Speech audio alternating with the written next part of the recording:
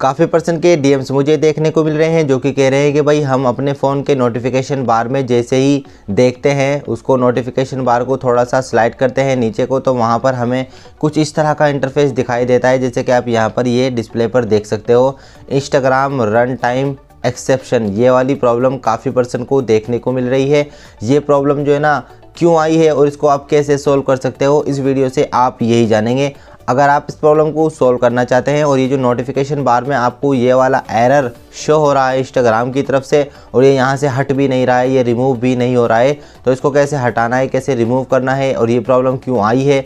सारी चीज़ अगर आप जानना चाहते हो प्रॉब्लम को सॉल्व करना चाहते हो तो वीडियो को आपको हमारी बिना स्किप किए एंड तक देखना होगा। वीडियो स्टार्ट करने से पहले अपने भाई का नाम जान लीजिए, मेरा नाम है शाहिद और आप देख रहे हैं I G help YouTube channel channel पर नए हो तो भाई चैनल को सब्सक्राइब करके बेल नोटिफिकेशन को ऑल पर प्रेस कर लो ताकि आने वाली मेरी वीडियो की अपडेट आपको मिलती रहे। तो चलिए शुरू करते हैं।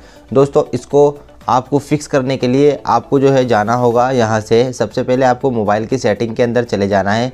मोबाइल की सेटिंग में यहाँ से हम इसको क्लिक कर लेते हैं। मोबाइल की सेटिंग में आ चुके हैं। उसके बाद में स्क्रॉल करेंगे और यहाँ पर हम जाएँगे ऐप्स के अंदर। आपको भी यहाँ पर जाना है। जहाँ हमारे फ़ोन की सारी एप्लीकेशन इंस्टॉलेड होती है, वहाँ आपको जाना है।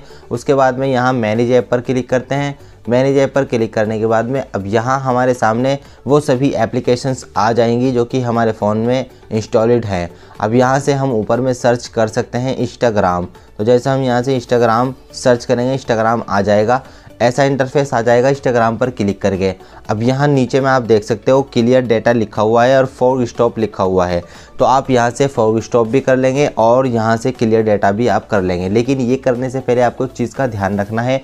आपका जो इंस्टाग्राम का अकाउंट है, उसका पासवर्ड आपको याद होना चाहिए और अगर आप रील्स पर भी वीडियो बनाते हो और कुछ रील्स की वीडियो आपने ड्राफ्ट के अंदर सेव करके रखी हुई है तो उन ड्राफ्ट की वीडियो को पहले आपको यहाँ से शेयर करना है, यानी कि अपलोड कर लेना है। उसके बाद में जो है ना, आप तभी क्लियर डाटा क्लियर कैचे करेंगे, वरना यहाँ पर होगा क्या? अगर आपके पासवर्ड याद नहीं होगा या फिर जो है आप यहाँ पर रील्स पर ड्राफ्ट के अंदर कोई रील्स में जो है ना ड्राफ्ट की वीडियो आपने सेव करके रखी होंगी तो वो भी सारी की सारी डिलीट हो जाएँगी वो वापस नहीं आएगी।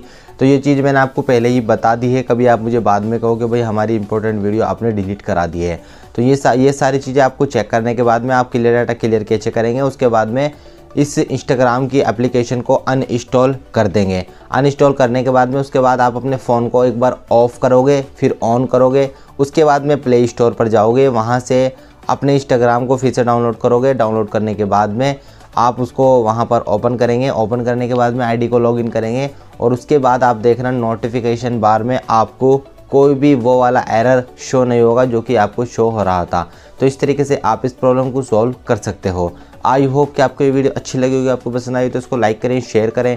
मेरे चैनल को सब्सक्राइब करना ना भूलें। तो मिलते हैं आपसे अगली वीडियो में।